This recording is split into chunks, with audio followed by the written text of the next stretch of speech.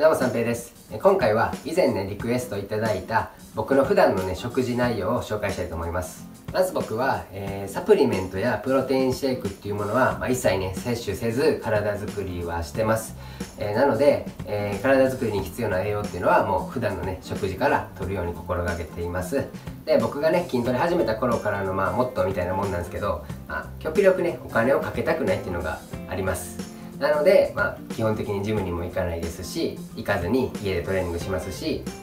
食べるものもね極力、まあ、お金かけたくないんですよ、ね、誰しもがねお金かけれるわけじゃないと思うんで、まあ、なんで見てくださってる方で、まあ、同じようなね、えー、境遇の方いらっしゃったらお金ねかけなくても、まあ、僕ぐらいの体にはなれるっていうのを一つのね参考にしてもらえたら嬉しいなと思います。で本当にありのままお見せするんで、まあ、もしかしたらそんなもん食ってるのって思われるかもしれないですけどまあね本当にありのままお見せします。今日は朝食と昼食の内容をねちょっとお見せしようと思います。まず朝食なんですけど朝食は、えっとね、お水とブラックコーヒー、えー、のみです。というのも僕は、えっと、 intermitte intermi in intermittent fasting っていうものを、えー、行ってて、まあ、これ何やっていうと、まあ、日本語でいうプチ断食みたいなもんなんですよ。まあいくつかのやり方あるんですけど僕がやってるのは、えっと、1日に食事時間できるのを 1日に食事できる時間を8時間設定して、えっとね、残りの16時間は何も食べない、えー、水だけですね。水かコーヒー、まあ、カロリーを摂取しないっていうのが、まあ、やり方です。で、えっと、時間設定はね基本自由なんですよ、えー、朝9時から食べ始めて、えー、そこから8時間から夕方5時にその日の食事を終える。で次の日の朝9時まで何もねカロリーあるものを摂取しない。でまた翌朝9時から食事を始める。っていうのもできます。で僕がやってるのはお昼12時から食べ始めて夜8時。にその日の食事を終えるっていうやり方をやってます。まあねやり方はね全然自由に入れます。これね何で知ったかっていうと僕が、まあ、2018年からモデル活動始めたんですけどそれまでダイエットにねあんまり興味なかったんですけど、まあ、ちょっと体絞りたいなと思ってまあダイエット何かしようかなと思ってる時に、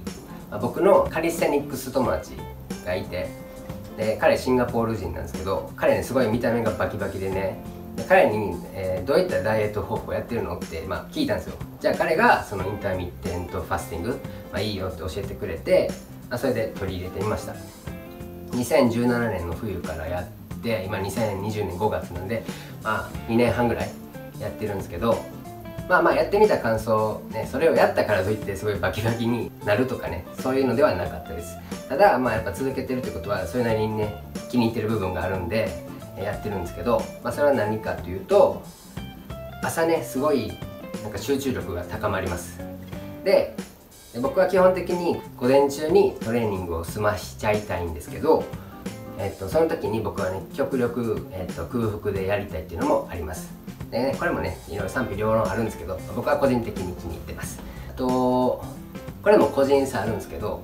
消化機能が多分僕そんなに高くないんですよ。なので、えー、食事の回数増やしたりとかあと常に、ね、お腹に物が入ってるとすごい体がだるくなっちゃうんですね。ただこれを、えー、ファスティングにね切り替えてからすごい改善されました。でまああれですね、えーと、空腹時を作って内臓をしっかり、えー、休ませてあげるということですね。他にもねいろんなあの効果デトックスとかねいろいろあるみたいなんで興味ある方は一度検索してみてください。でまあそうですね朝食はそんな感じです。はいじゃあねえっ、ー、と昼食の紹介に行こうと思います。で今日も朝トレーニング済ませてで今ねお昼回ったところなんでえっ、とねお昼ご飯作っていこうと思います。はいじゃあ作っていきます。じゃあね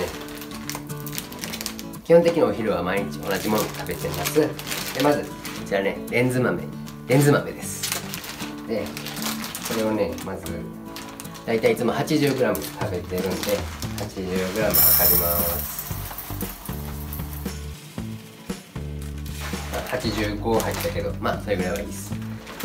でね何を作るかはもうちょっと今、えー、想像してみてください。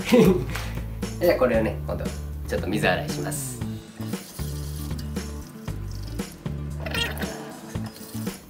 これねフライパンに移します。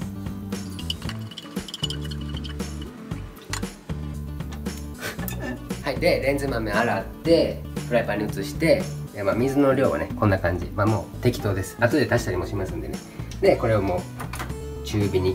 かけてやります。まあこれでねちょっとしばらく待ちます。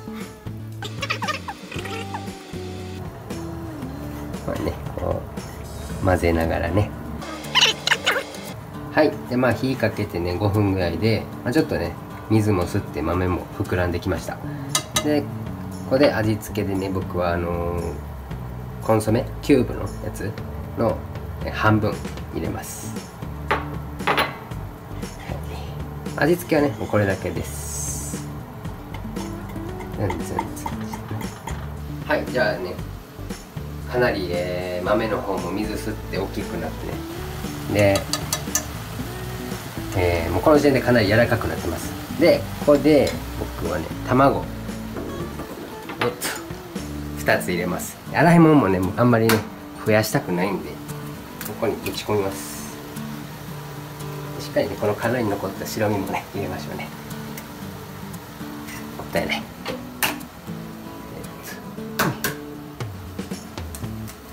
こに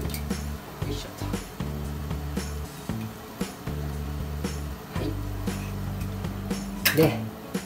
手洗いましょうね。はいじゃあこれねもう鍋の中でフライパンか。フライパンの中でねもうぐちゃぐちゃってやってあります。まあこれぐらいね火通ったら今度この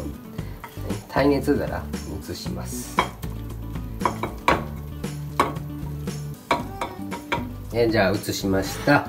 でここにね今度はね、えっと、チーズをのせていきます。